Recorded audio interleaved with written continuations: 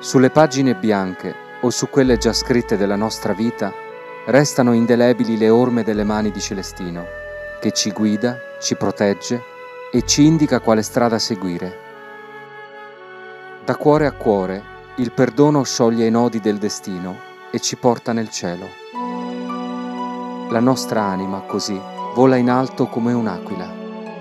Potenzia dell'Upatre, conforta me.